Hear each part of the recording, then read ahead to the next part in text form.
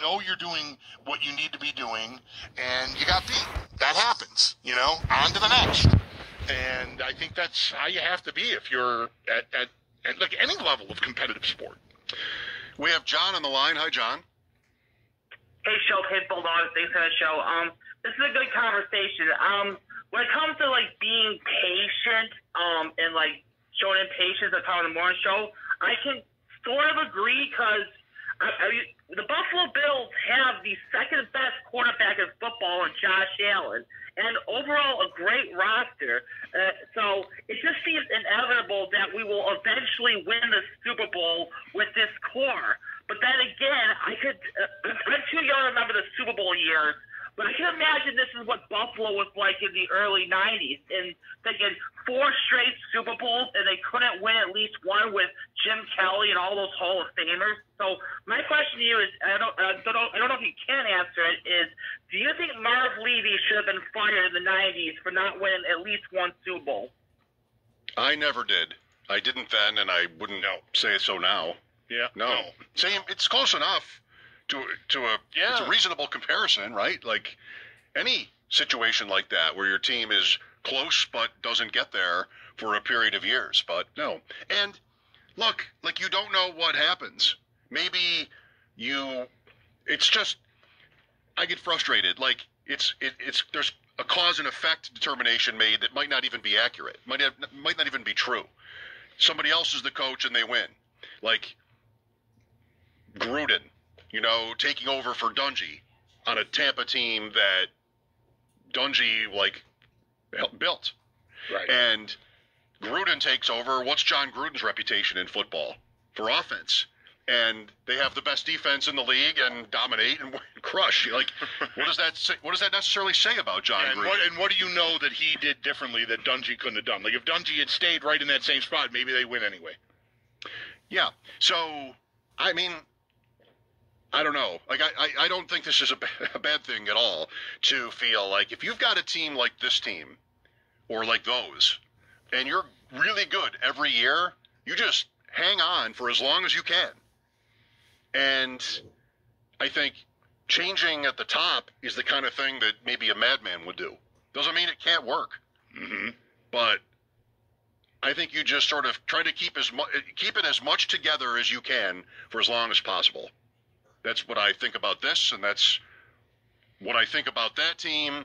I don't know if I thought this way 30 years ago, but I Oh. never, I, definitely never did. got with like changing coaches. That, No, I, I no. I mean, I was lucky enough to be on the radio at the tail end of Marv, and I was heartbroken when he had to leave. I mean, recognizing that you know change is inevitable, and he had a, a, a you know a long tenure and a very successful tenure.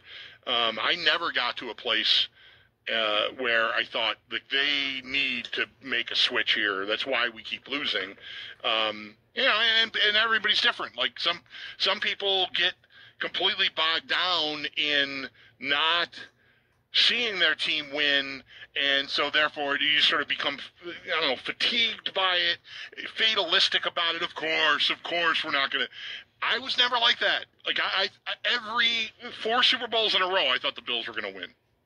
You did? Going in, even the last one, like the fourth. By the fourth one, it's almost more just like. Come on!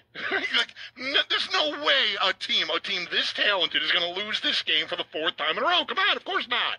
And then they did. but I, I would have been the same if they went back for a fifth and a sixth. That, that's just how I am. You know, the Sabres get to Game Seven against Philadelphia in 2011, and I'm I'm writing for the website like, just give us one guy, just just some success in this spot, so that I'm not surrounded by people who assume it's going to burst into flames. Because it always does, and then it does, and but I still always get back to like the they can do it. I don't feel like that's been the sound of the fan base with this Bills team in recent years. I mean, of course, there are people who are going to tell you, "Oh, they're just going to lose." You know, I know some of them, but I, I feel like the vibe has been super positive and confident. And I, I bet that stadium. You're not saying different, but you're talking No. about the past. Yeah. Or the Sabres. Like that. That stadium for that Bengal game was not, you know, worried that day. I, I think, yeah. If anything, maybe it was overconfident. Maybe. Maybe. Plus, they got their well, what the image of the Bills is they got their weather Right. and at, at home, right, and still still lost. Well, thanks, John. The Super Bowls. So um, I'm sure 1990, I would have been 18 for that game or 19, and I would have just not been assuming, but I'm, I'm sure I was very confident in their chances. I felt like you know everybody did when the Giants beat San Francisco. It was like, oh my god. Mhm. If the Bills were really never necessarily seen as better than San Francisco, but the Giants, I mean, they'd just beaten the Giants too. Like, Right. come on. And they'd gotten Kelly back, and the Giants didn't get Simms back.